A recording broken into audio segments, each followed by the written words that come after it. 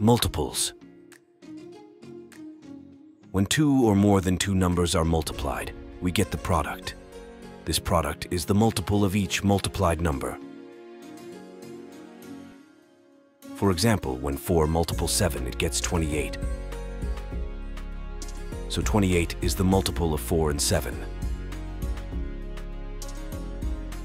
Multiple of 9 is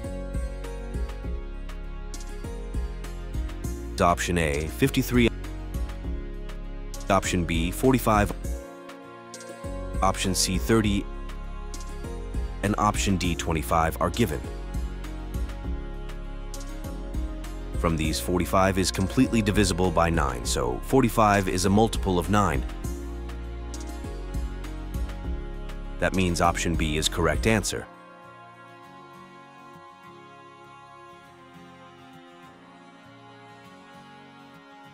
Which of the following numbers is not a multiple of 8?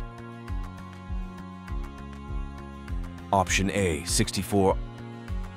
Option B, 32. And option D, 40 are completely divisible by 8.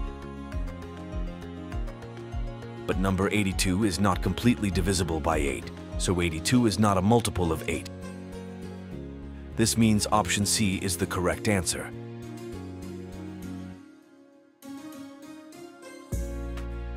Choose the right option for first four multiples of 7. 7 multiply. 1 means 7. 7 multiply.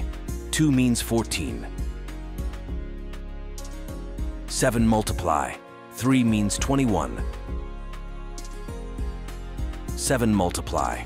4 means 28. So, the first four multiples of 7 are 7, 14, 21, 28. And option A is correct option.